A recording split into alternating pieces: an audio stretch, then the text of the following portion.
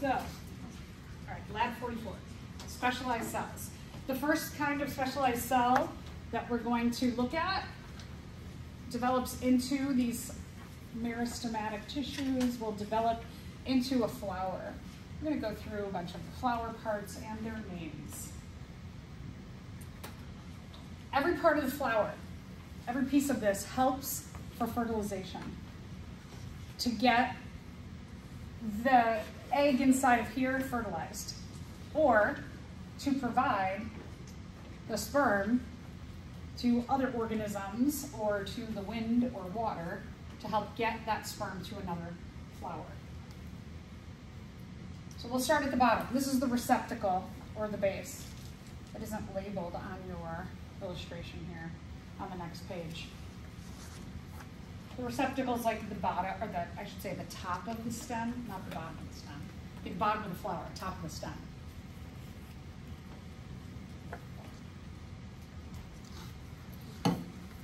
It supports the growth of the flower on top. These little green petals in which the flower is enclosed until it blooms, these are called the sepals. So they just protect all of the flower parts until the flower is ready to bloom. Petals. The petals are a very important part of helping with fertilization. In plants, we call, when we're talking about plants, we're talking about fertilization. We're referring to this as pollination. There's a process that attracts pollinators. The different colors, shapes, smells of petals will attract a pollinator. We'll get to the pollinators in just a second. The male portion of the flower, it's called the stamen or the androecium. We've got these two names to know. We're looking at these things right here. So there's two parts to the stamen or androecium.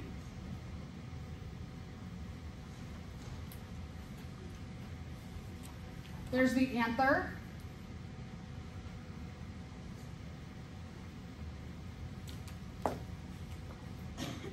And the filament. The anther has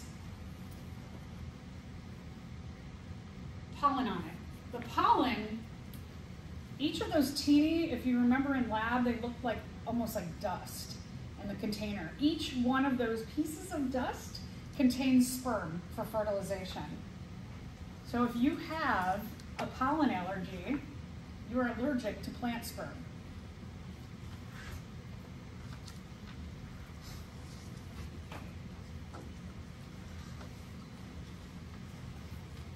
The female portion in the middle here, so it includes all of this here. It's called the carpel or the oh, did I, is that an N? it is It is an N, that's not gin, it's gin? Okay, that's a, somebody asked my plant, my plant person here, Alexa. Gynoecium is the carpel. The carpel has three parts to it.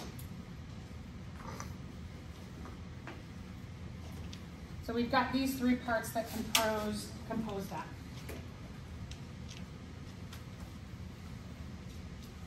the ovule or the ovary is in here at the bottom. What do ovaries have in them? The egg. What are you? The egg. The egg, yeah, great. So they have eggs inside of there. You've got the style, which is this long portion. And then here at the tip, you have the stigma, the stigma is the pollen landing pad. If you've ever looked closely at a plant, often the stigma will be sticky. It will release sugars or sap to attract pollinators to have a little treat. Hey, come here and eat this candy, sugar, right here. The other thing about that being kind of sticky is that then pollen will stick to it. Pollinators, like bees, for example, they have a lot of hair on them, and the coevolution between the bee or other, you know, like birds or other insects, um, could even be a mammal with hair. All those things, when they come here to get a nice treat, all of these that have pollen on them, the stamens that have pollen on them, they're going to like get it all over their hair and their fur. If you've ever seen like a video of uh, a bee and it's just got like yellow all over it because it's got the pollen covering it. What happens then is that the bee will come and it'll lick the nectar here. If it has pollen on it, likely pollen's gonna fall and stick to here. And then it's like, let me go get another treat of another flower. And so now the pollen of this flower, they bring over to the next flower and the next flower. So we have other organisms and or wind, rain, um, water, like flowing water, that can bring, that needs to bring the pollen over to other flowers. So just again, kind of in comparison, the pollen grains might be different colors, like the one you saw in lab was more brownish.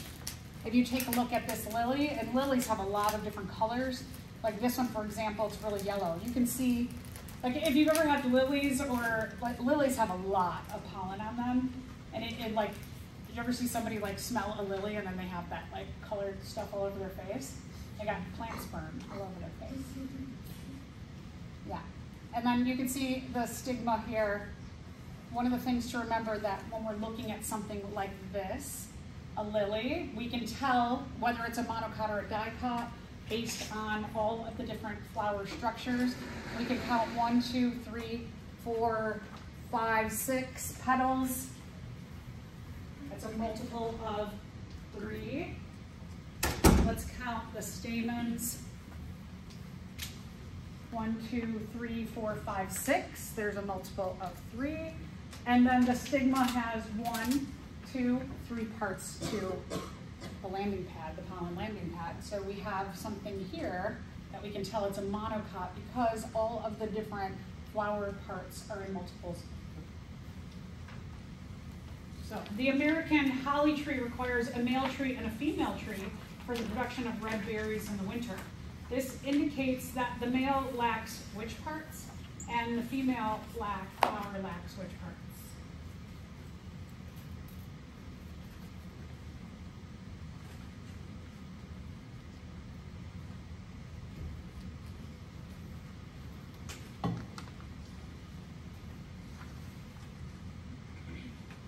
which one would it be? Which one are they lacking? C. You said C? Yeah? One? Is that what you're saying? C? Okay. Sorry, I couldn't tell. Like B, B, C, D, E. Okay, so we have to think kind of backwards. Like males do not have carpels. Females do not have stamens. a little bit about the relationship between flowers, fruits, and seeds. The flowers we just talked about, it's a reproductive part.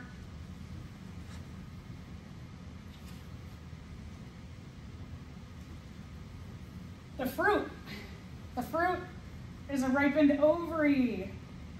We learned this in lab last week. So if you, let's say, you know, this time of year, you're having a nice Honeycrisp apple, you're eating the apple tree's ovary. And then inside you have the seeds. And what do you do with the, the apple core with the seeds in it? You throw it out, right? So you've just eaten an ovary and you've thrown away a bunch of babies. You're bunch of sickos. So seeds can come in a variety of different kinds. Like I just mentioned, apples have tiny little black seeds. You are going to have a peach pit. So this is the ovary. And then inside there's the embryo of the plant. And you also have like, this is called endosperm. It's like a secondary kind of um, thing that happens in reproduction. So it gives the embryo some food until it can germinate or break from the seed. So back to pollination. Pollination is important in the process of fertilization.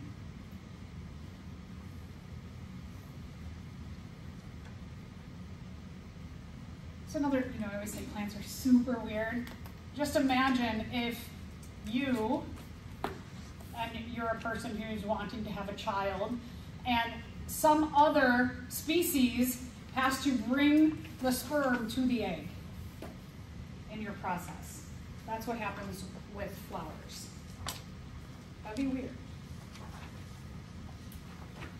Pollination refers to pollen landing on the stigma that has that sticky, gooey nectar on it.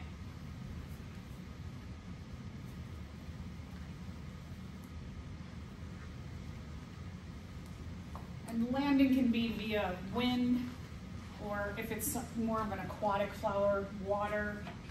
But a lot of times the pollen, like I said before, like a bee will go from flower to flower to flower. and It will bring the pollen to the flower. So there's a lot of different ways pollination can occur. I've mentioned them. Wind, water, insects, even bats, birds.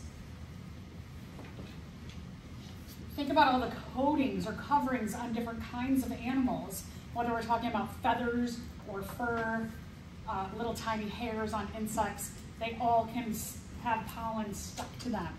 So there's a little bit of that like coevolution again in there that while those structures might help keep us warm or might help us to feel, they also can assist with pollination.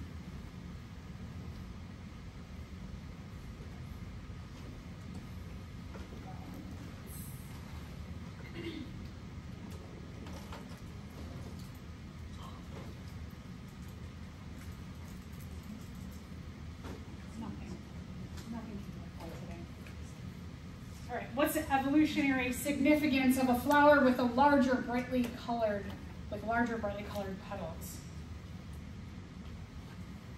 Okay, so now be careful with this because, like, for example, the wind is a significant, significant factor in pollination, especially because of the larger petals.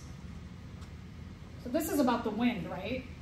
Does that have anything to do with necessarily the color of the petals? No, that's about the wind. So while that might be a true statement, and here's the thing that sometimes you have to remember that when you're reading test answers, you might run into true statements, but that doesn't mean they answer what your question is asking. So be careful with that. Such plants are usually self-pollinators and do not rely on the external factors for pollination. Uh, maybe, oh, that sounds like, I'm not sure that that really has anything to do with the bright, color, bright colors. In general, these are aquatic plants. Water aids in pollination irrespective of color and odor. That sounds interesting, but I don't know. I'm not feeling good about that one. These flowers are more attractive to animals that act as pollinators. That sounds kind of good, right? Such flowers produce only microspores or megaspores, not both. Okay, so we kind of narrowed down to, we said maybe like these three sound kind of good. Which one sounds the best? D. Yeah, good. So D sounds the best. So just this is a good example of like you can read stuff and be like, that's true, but doesn't answer the question. All right, last bit, effects of hormones. This will be reflective into what you are going to do to write up Lab 24. I think it's interesting the evolutionary relationship between organisms having just basic kinds of things. Like we have hormones that help to send messages and control a lot of our metabolic functions in our bodies, so do plants. So one, for example, is auxins. Auxins influence a whole bunch of things. So one is phototropism. There's like photo in there. What that means is that if you set a plant in the window, where does it eventually lean? Toward the sun. Toward the sun, right. So your plants go like this. So at home, you should every so often like turn your plants. Also gives the backside of the plant a little more access to sun. Apical dominance. Remember, apical means the roots and the shoots, the tops and the bottoms. So it's going to help the top grow, helps buds that are up top start to grow, and it doesn't help any buds on the stem or in the lateral part of the plant.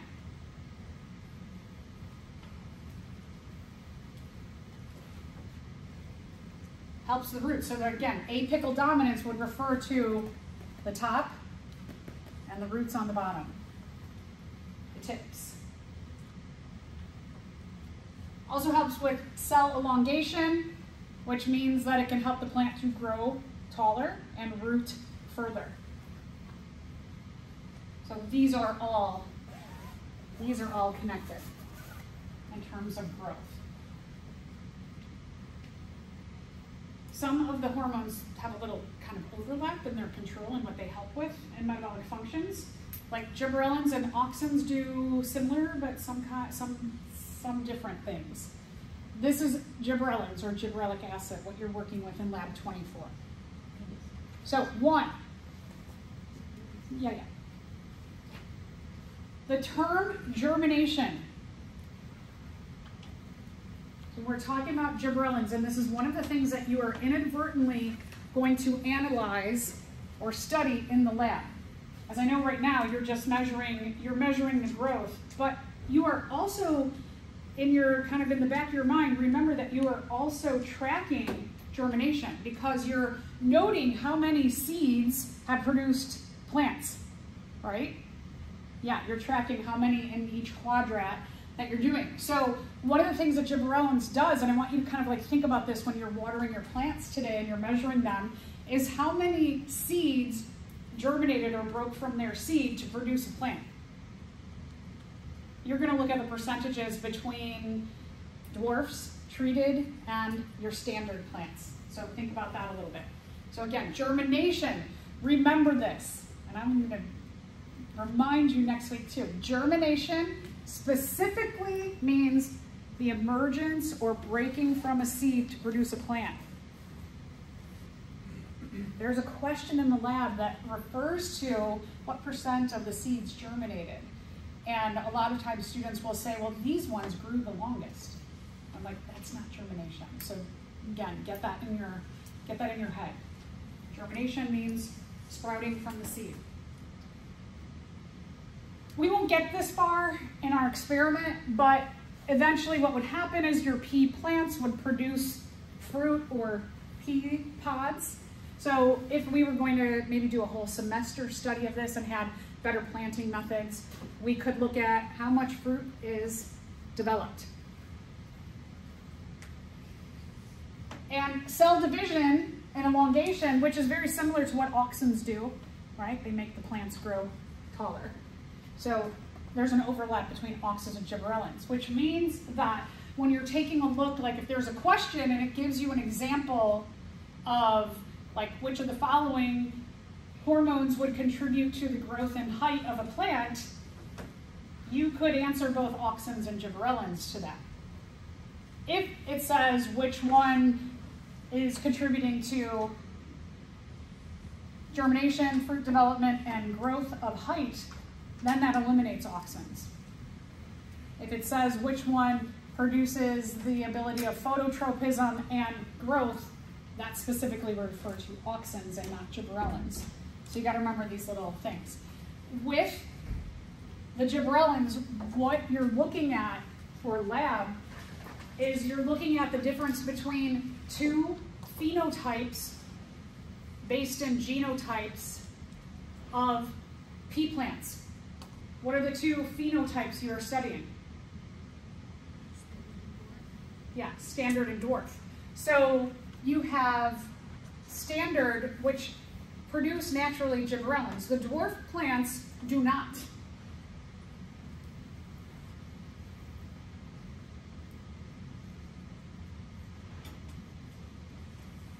So let's say that gibberellins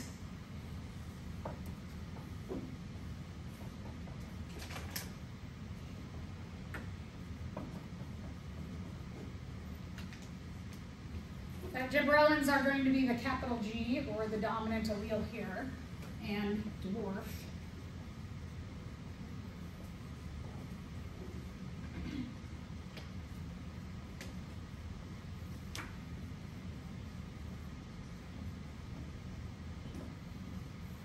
We're going to call that little g. That are gibberellins, so if this is the allele,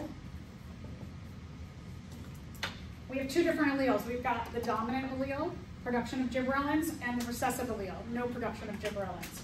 So that our genotypes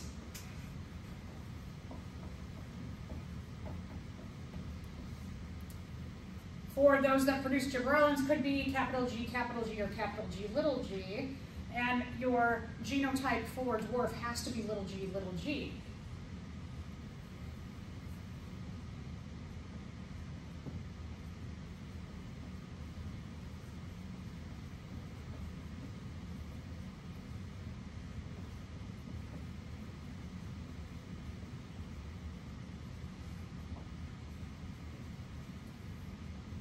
So remember, when you have a heterozygous individual who's got one of each kind of gene, that because it has the dominant gene or allele, it functions the same way as one that is big G, big G or homozygous dominant, but it carries the dwarf gene. It doesn't express it. One of the things about dwarfs is that dwarfs, they never grow enough they may have maybe, maybe just on their own, they may get some fruit development, but they will probably get very little. Just like the germination, just thinking about your data, not even looking back at it, do you have less dwarfs that germinated than you did standard? Yeah, right? So you should see a lot less dwarfs that you're taking data on than your standard plants. So all of these functions they might be able to do just on their own without having this hormone at much, much smaller incremental rates of that. So they, if they don't produce much fruit, how do they stay in the population? So if they don't produce offspring, how do we keep having dwarfs in our population? Heterozygous uh, dominant. Yeah. Well, heterozygous. heterozygous. Yeah. So good. So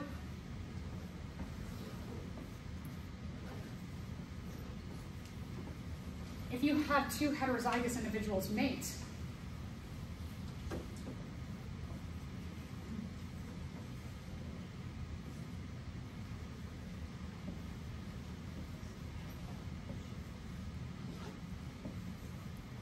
that when two heterozygous mate, there is a 25% chance that they will have a dwarf. And that's how the dwarfs stay in the population. Might be something you want to write down. Take a picture of, whatever you need to do. Last hormone I want to talk about is ethylene. Ethylene is very, very practical to understand what ethylene does for the own sake of your fruit, all the fruit and you know a lot of vegetables we learned, or some of you realized last week that a lot of vegetables are actually fruit because a fruit has seeds. So a lot of what we call a vegetable is actually a fruit. If you don't want, what do we typically do? We have drawers, right, in our refrigerators, and we put all of our fruit and vegetables together in there. One of the things that, um, or on the counter, you have like, put your whole basket of bananas and oranges and apples out on the counter. Ethylene, what it does is it, as a fruit ripens, it starts to release more and more and more of ethylene gas. So that with ethylene, if you have, especially like bananas, like uh, you have one banana that's getting brown, and let's say you have oranges and apples on the counter, that banana is giving off ethylene, and it's going to make all of your other fruit ripen faster. That's just like why bananas, like if one goes, uh, starts to ripen faster, they're connected by the stem, and it'll send the ethylene through the stem, and then they all go bad at the same time. So a couple practical things is that you have bananas, take them all apart. I know like probably six months ago, eight months ago, people were talking about these little banana hats that you put it on the stem. I saw it everywhere, and I thought it was so, I'm like, ah. It's keeping the ethylene from escaping into the rest of your environment so that it doesn't let the ethylene get to your other fruits and vegetables. So you can get a little hat for your banana stems, or you could just like separate them. And especially if you have fruit that like starts to go, that starts to ripen, you can put it in another room or at least across the room. Sometimes my house, you find apples in the living room and my family's like, oh gosh, her and her craziness. All right, so appropriate for this time of year. A lot of people do apple picking. We see definitely a lot more apples in the grocery stores. One rotten apple spoils the whole barrel because the rotting apple produces what? Ethylene. Good. Yeah, so practical application. One of the possible consequences for a plant with a defective gene for the production of gibberellins or gibberellic acid would be let's think about what we just talked about. So is it rapid rotting of the fruit? No. No. An increased rate of lateral root development? Mm. The development of fruit without fertilization? We have to talk about that. A longer dormancy period for the plant seeds? Yes. Okay. An increased rate, increased rate of stem elongation? No, right? So this would be true if it had gibberellin. So like if you get to these two, you got to remember, what is the question asking? There you go. And if you grow coleus, which are these kinds of plants, a lot of people have them in their house and outside. If you grow coleus plants, you will need to cut or pinch off the top bud frequently to keep the plant from becoming really tall and spindly. Pinching off this bud will slow the production of what by the apical bud and allow the plant to become bushy. Auxin, cytokinin, gibberellin. This is acetone and, and ethylene. Which one sounds the best? Which one had the budding? Yeah. It's good. So, in any of your, if you're somebody who's like into plants, like for example, you could like see here or here, the apical bud or the very top bud one of the things you can do with your house plants or even like tomato plants, really good to do if your tomato plant starts to go really tall and skinny and then it can't support the weight of the fruit or the tomatoes, is you go and keep pinching off or you know get like little scissors and these little top, the little top buds. And then what that does is it doesn't allow auxins to keep it growing up. It starts to spread out and it becomes bushier rather than taller. Another practical thing. Right, any questions about plants? We'll come back and do a little review in a bit. Let's, um, what do you have next in your notes? Do you have fungi? Yeah, perfect. That's what I I used to have them out of order, now I think I put them in order, and I don't remember what I do all the time. Okay, so fungi. Uh, could be like typical looking mushrooms. Remember the gills we looked at under the microscope? Some mushrooms are real weird looking. Look at this one, it's super cool. Fungi. Fungi are so, so, so important as a, there's two major groups that are the decomposers, fungus and bacteria. And so this time of year when the leaves start falling, little tiny fungi all around in the ground and ones that are microscopic even, they eat up all this plant matter and they help to also put some into the ground so that all of these leaves, the nutrients, inside of them, they get the energy, they get rid of the nutrients into the ground. All of the leaves that have fallen have now left behind via the fungus and the bacteria, really good nutrients for when conditions become optimal in the spring and the plants can grow again. It also is kind of nice because these dead things or the waste of dead things, they're just not piling up everywhere. So key features, we looked at a bit of this the other day. Fungus are mostly multicellular. There are some that are microscopic. Or the spores, that portion of the fungi are microscopic. They're floating in the air. Some of the things that just randomly make you sneeze. The entire body of the fungus is called mycelium. We say it's a filamentous body because the mycelium are made up these thread like structures called hyphae. You could say hyphae, hyphae. So that if I'm looking at like my shirt here, my shirt, the entire shirt is the mycelium, and then uh, each individual thread, like I can kind of see if I stretch it, I can see some threads, those would be the hyphae. Here you also have some fruiting bodies. You looked at under the microscope the other day too. And you can see all these little tiny dots on there, those are spores. And these spores could grow that fungus. They float in the air somewhere else. If we look at fungus under the microscope even further, so we take a look at the hyphae, so we can see the strands, and we could go further and see individual strands. And if we go further, and we had a really, really strong microscope, what we would see is that the fungus, they have cell walls. So here's an interesting thing, if you didn't realize that, you know, not only plants have cell walls, but fungus, some protists have cell walls, and um, some bacteria have cell walls. So in the cell walls, you have these little tiny pores. And from those pores, so fungus do a different kind of digestion than we do. We are heterotrophs, we do an internal digestion.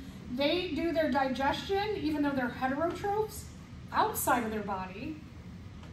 So they release enzymes and acids outside of their body through the pores. So whatever they're sitting on, they release it onto there. The enzymes and the chemicals do their magic. Speaking of. Um, and then they suck in the digestive material, the broken down chemicals, the broken down enzymes all together. Thank goodness. So again, they it's like they secrete the enzymes outside of their body. It's kind of like they're puking on whatever they're eating. So imagine if you're like, ooh, I got this great piece of pizza, and you threw up your enzymes and the hydrochloric acid and all the other good stuff in your stomach, and you just let it like, and then you ate it. That's like what, what fungus do. It's also specifically dead things or waste. All right, so now think about it. You got a big pile of poop that you've picked up. You puke on it, and then you eat it. Or a dead bird. There's a lot of other functions that fungus do to get energy and nutrients. Um, is that they might feed on living things and cause disease, which we'll get to some of those. They're in the parasite category. Or like, like lichen, they're symbiotic. So all of these little mushrooms are just puking on this wood. Now you can also see some nice moths there, right? The bryophyta, plantae bryophyta, and the fungi. They can produce both asexually and sexually. They use spores. The spores are going to carry, it's like a little reproductive package that can go elsewhere. So like black bread mold, for example, they do this shooting of their spores out into the air, but these fruiting bodies, the mycelium of the black bread mold, are usually microscopic. In groups, you start to actually see that black on your bread, or it could be like white bread mold, that's the white kind. But these spores are finer, way finer than even when you were looking at the, um, the plant, the, the What's the plant thingies from the male? The what? The pollen, yeah, pollen, thank you. So pollen. This is like way finer than pollen. Way, way, way. So right now there's some floating in the air. We don't even, we can't even see it. That's how fine it is.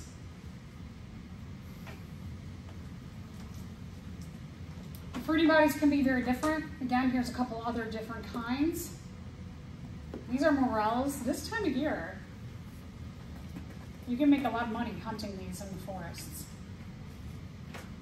So we just go, uh, a bunch of us in the biology department, we have a conference.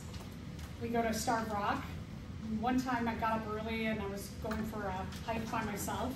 And then there was like three men coming this way behind me and three this way. I was on like the trail and I was like, oh, they're gonna, they're gonna murder me. And they were just in a line and they were, and then I was like, when I realized they weren't gonna murder me, I was like, what are you guys doing? And they were like, we're hunting for morels.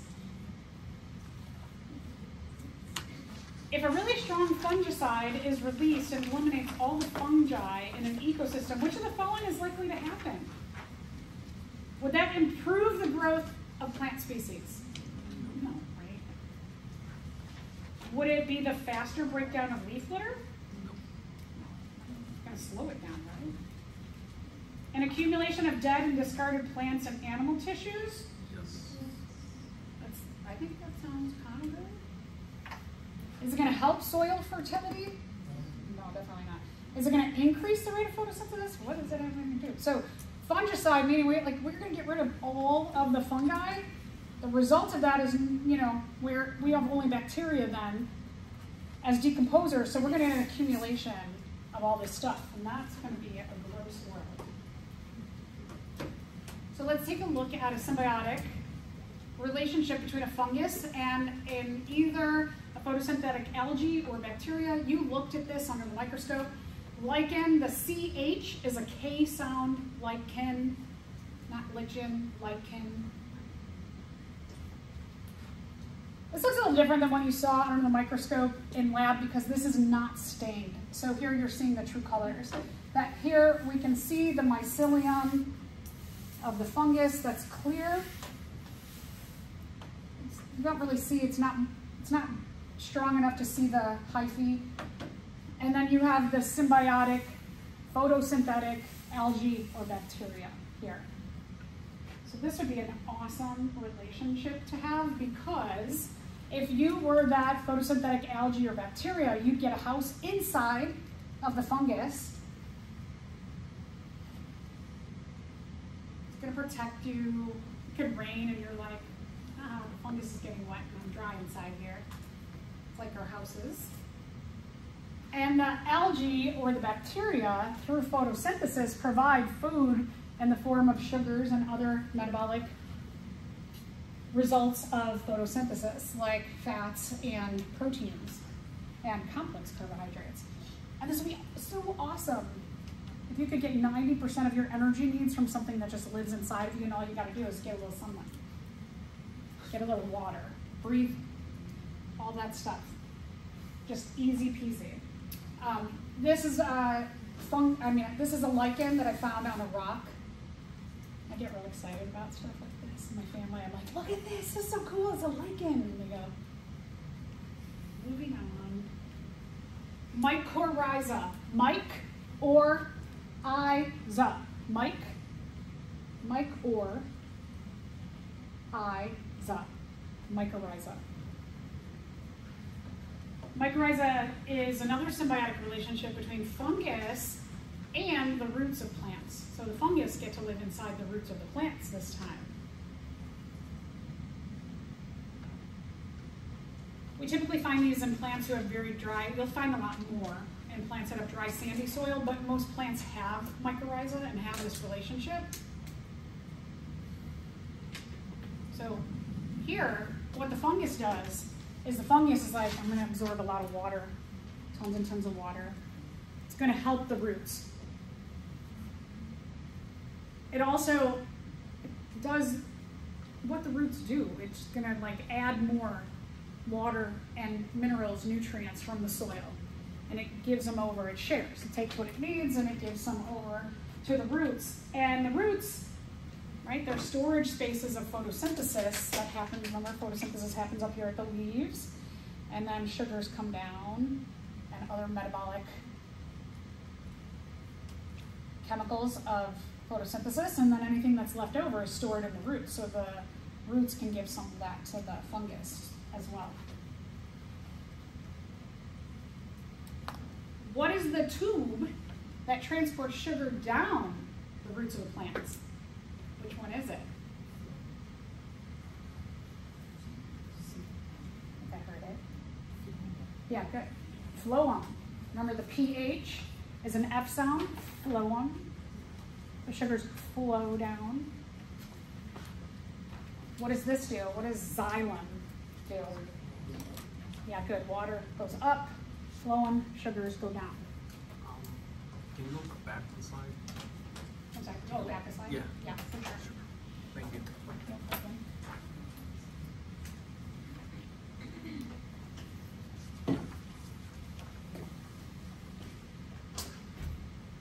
Penicillium. What do you notice about the word? Penicillin. Penicillin's in there, yeah. So penicillium is a mold that produced the first antibiotic.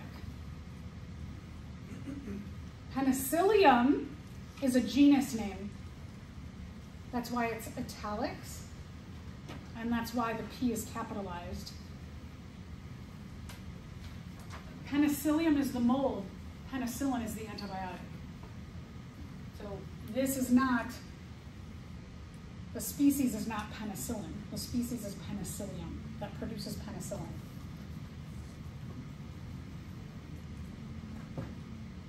So this is, it's kind of cool that the way it was discovered was totally by accident. That um, a scientist named Fleming, he was growing bacteria on a plate, and he noticed that he had this like mold growing, and that mold was penicillium, and around that penicillium, no bacteria were growing. And so this like fungus got onto his bacterial plate, and he was like, but this thing, whatever this thing is, it's killing the bacteria. So it must have some antibacterial mechanism to it. And that's how penicillin was discovered totally by accident and just good critical thinking of looking and going, something's going on here. Penicillin can be produced, well, I'm to say penicillium can produce a product like this on oranges. You ever get an orange and you open up the bag and you're like, this like puff comes out because you got one in there that's like moldy? That's penicillium. It's growing on there. Blue cheeses, if you like blue cheeses, it's penicillium, which gives it that taste. Um, if you're sick and you're like, oh, I'm sick, I'm gonna just eat this moldy orange to treat my sickness, penicillium, the product of it, has to be processed in a lab to be the penicillin that you need. I mean, certainly if we have like, you know, the zombie apocalypse, this might be an option to help us, but it gets processed somewhere else. If you get rid of that orange, usually, and what I would do is, what I, well, what I do, is if I have an orange in a bag and this is in there, I wash them all really good. I use a little bit of like soap, a little tiny bit, and I wash them really well. Because those spores are tiny and can be stuck in those little like crevices of the oranges, but you just give them a wash and they should be free of the penicillium. Yeast, you also looked at this under the microscope last week. Produce yummy things like bread and also beer and wine through a process called fermentation.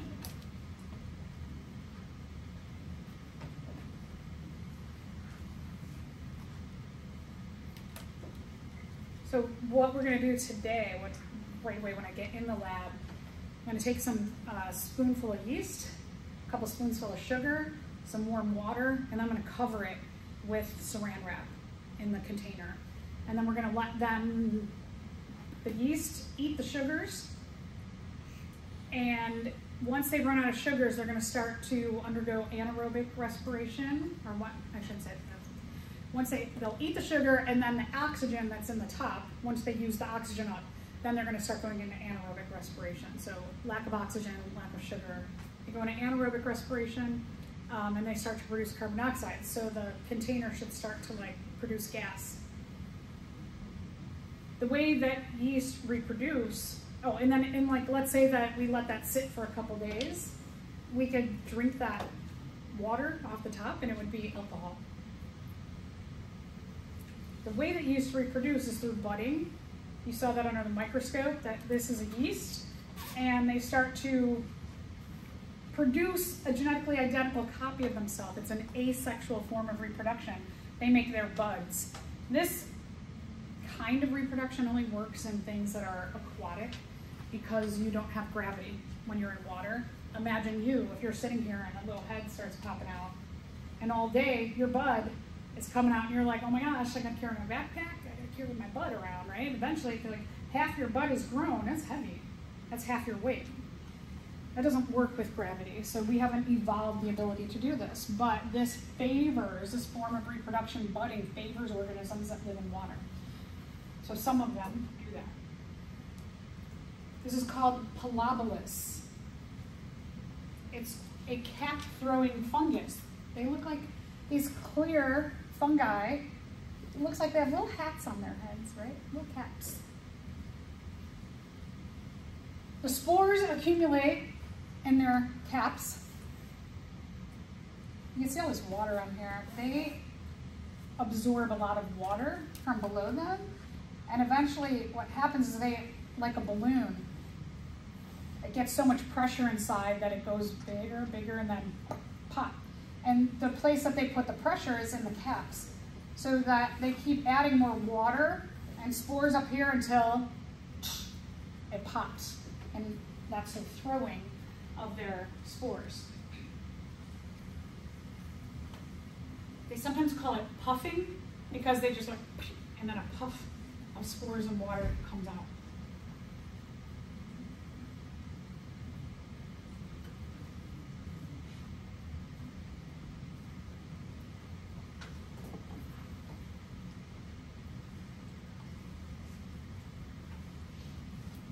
If you ever see these, you could, um, they're real tiny. They're like this big. If you ever saw like uh, a log in the wood, if you look closely, you might find these. And you, if you just like gently blow on them, they might start to puff. Okay, so part of their life cycle is that they need their spores to get into the digestive system of another animal, like a deer or an elk those kind of foresty type mammals. Can you imagine if you could, the only way you can complete your life cycle is to be pooped out by something else, to get eaten and pooped out. It's kind of gross. So they've got to get into that digestive tract.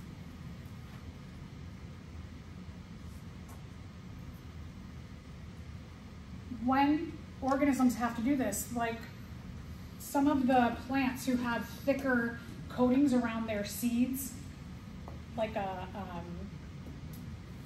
like apple seeds or peaches, for example, like with the pits, plums, they need to get eaten and digested by something else because it has to break down the chemicals and enzymes have to start to break down that outer hard seed coating. And so that if they don't get digested, it's much less likely that the embryo can break or germinate from the seed.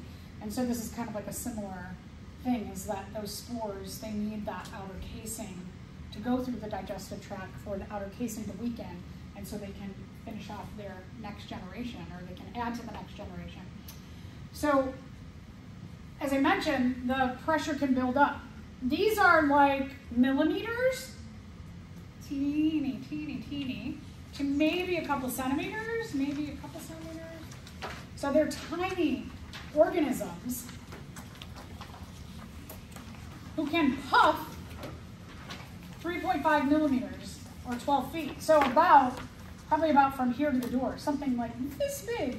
And that's how hard or high the water pressure gets in their caps. That's pretty impressive. All right, so what happens is these, they're gonna puff. They have phototropism. So a lot of times we just think like plants have photo, phototropism, but look at, aren't they leaning in the same direction? They're leaning, they actually have an affinity toward leaning to the sun. And this will make sense because how do they, I mean, if you were an elk, you might not be like, hmm, fungus. But if you're an elk, you might go, ooh, grass. I like to eat grass. Grass is kind of sweet and it tastes good and I like to eat in the sun. So what they do is they put their heads toward the sun and they puff and the, the evolutionary mechanism is that if you lean toward the sun, you're probably going to hit something like grass that the elks will eat. And then over there, your little spores get eaten by the elks, and they eat it, and then they poop it out somewhere else. And then from the poop, these come out again, and they lean toward the sun, and they get to the grass, and then we have this cycle that keeps happening. So pretty, you know, for something, it's always amazing that you, you have organisms that don't have a nervous system, but stuff like this happens. It's pretty complex behavior for something very simple. So that's one of the amazing things about life is that when we say like, oh, humans, we're the highest evolved, and I don't know, this is pretty like, they've been around for a long time. Bacteria, archaea, have been around for a long time. Like who's smarter genetically? Simple often is like much better. So the only thing I don't like about this is it should be, its head should be cranked in that direction. Some fungus can be parasites. Here's the bad news. Um, so cordyceps, The Last of Us, pretty cool. I read I read a, a book that this was like way before that, and um, that it was probably like 10 years ago, 15 years ago, that it was about these cordyceps that you know, passed around through humans. Um, insects are the biggest animal group in the rainforest, and the way that their populations are controlled is by fungus, fungal spores that get into them and eat them from the inside out. It keeps their populations in check. Uh, we'll get to that in a little more detail here. Okay, so one kind of parasitic fungus that are arthrobotrys. Arthrobotrys. Arthrobotrys produce these little rings or traps. They try and trap nematodes. Uh, nematodes themselves are parasites, so don't feel so bad for the nematodes. Another way for one parasite to control another parasite's population numbers. But it's pretty cool. You can see their hyphae they have some hyphae that are just like more stringy and some hyphae that form into these attached traps or circles hanging off the stringy hyphae. Oh, so the nematode, these are roundworms. They're also parasites. I always think it's cool, like look at all these little traps that are set. Nematode just swimming around and when the nematode swims through a trap, it responds by puffing up. And when it puffs up, it makes it harder, makes less surface area for the nematode to get through. So it like, you can see the difference between these ones that are thinner and these ones that are puffed up. So when they feel there's some kind of evolutionary mechanism that then feels something going, touching it, it becomes trapped. Here's another species of, of um. So you can see this one is more like circle, connected to circle. Again, they'll puff up when a nematode comes through. Here's another species. All right, here's the other thing that they do. When they get trapped, or when arthrobotrys even feel movement around them, like some of the hyphae are starting to get touched, they start shooting out spores that have little tiny points on the end. And so it's like little tiny bullets that whatever's in its environment, which often is nematodes, is that those little tiny bullets are getting, right? You get shot with a bullet, it goes inside of your body. But that bullet has a spore of this fungus inside. So now that fungus is starting to grow inside of this organism. And like I showed you with the insects, is that they start to like get eaten from the inside out. And here's just another, another species. Which of the following is not a job of a fungus? Are fungi decomposers? Okay, so that's a job of fungus. Are fungus, some of them parasites? Are some of them predators? What's the, the definition of predation? Is the act of killing and eating another organism. Have we seen predators? Yeah, those arthropods for sure, right? Are they producers? Are the fungus themselves producers? Even in lichen, they have a symbiotic relationship with a producer, but they themselves are not. So they're not a producer. Are they pathogens? Are they disease causing? Yeah, so remember, when you have something like a lichen, it doesn't mean that the fungus is the producer. It means it's in a relationship with a producer, which is different.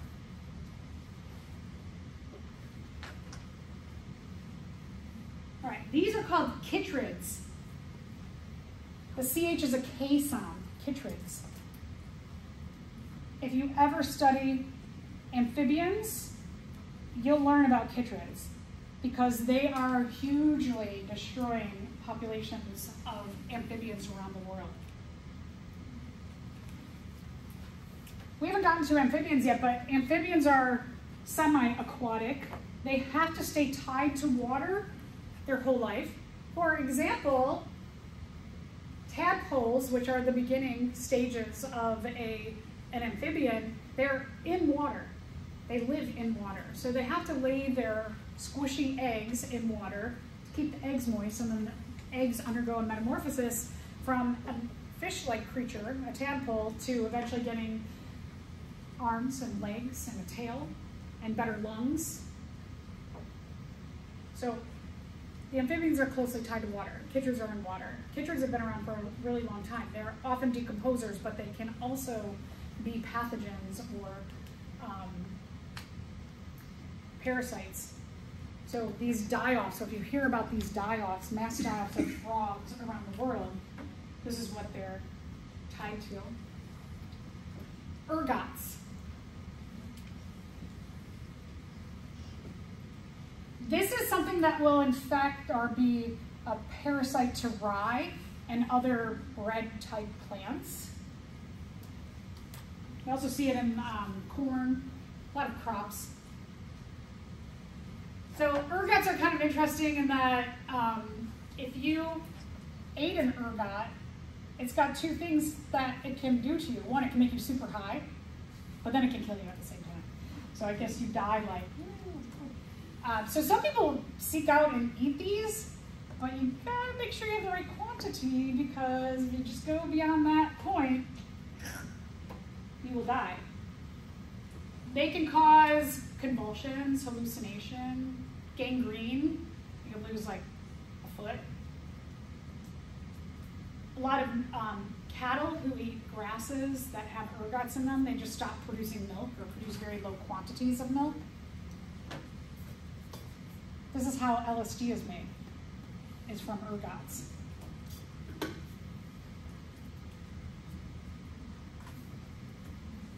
So it gets processed in a lab to become LSD.